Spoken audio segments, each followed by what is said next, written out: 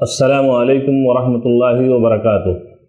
محترم ناظرین، دارالخیر فاؤنڈیشن کی اس چینل کو جنہوں نے ابھی تک سبسکرائب نہیں کیا ہے، برائے مہربانی اس چینل کو سبسکرائب کریں اور ہر دن کی اپڈیٹ کے لیے بیل بٹن دبا کر اس کار خیر کے نشر میں ہمارا تعاون کریں۔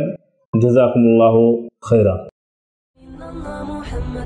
رسول الله لا إله إلا الله محمد رسول السلام علیکم ورحمۃ اللہ وبرکاتہ الحمد للہ وکفا وسلام علی عباد الذین اصطفى اما بعد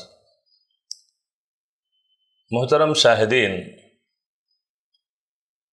ایک سوال جو بعض حجاج کی طرف سے ہوتا رہتا ہے وہ یہ کہ ایک انسان جو سفر حج کے لیے روانہ ہو رہا ہے، لیکن جب اس انسان کی پیدائش ہوئی تھی، والدین نے کسی وجہ سے ان کا عقیقہ نہیں کیا تھا، تو کیا ایسا انسان حج کی ادائیگی کے لیے جا سکتا ہے؟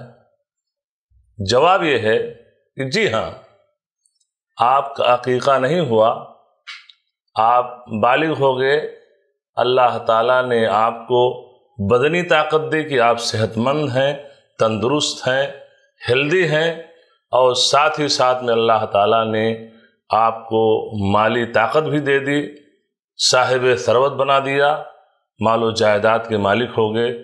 تو آپ سفر حج کے لیے جا سکتے ہیں، کیونکہ عقیقے کا مسئلہ اور ہے۔ اور حج کا مسئلہ اور ہے۔ حج سے عقیقے کا کوئی تعلق نہیں ہے۔ عقیقہ یہ ماں باپ کے اوپر تھا، والدین کے اوپر تھا کہ بچہ پیدا ہونے پر وہ والدین بچے کے پیدا ہونے کے ساتویں دن عقیقہ کریں۔ اب کسی وجہ سے کوئی مجبوری رہی ہو یا کیپسٹی نہ رہی ہو، اگر وہ عقیقہ نہیں کر سکے، کوئی حرج نہیں ہے۔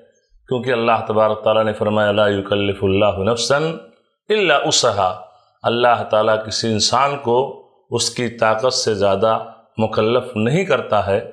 تو حاصل کلام یہ کہ آپ کا بچپن میں عقیقہ نہیں ہوا اور آپ بالغ ہو گئے، تو اب اب اللہ تعالیٰ نے آپ کو صاحب استطاعت بنا دیا ہے۔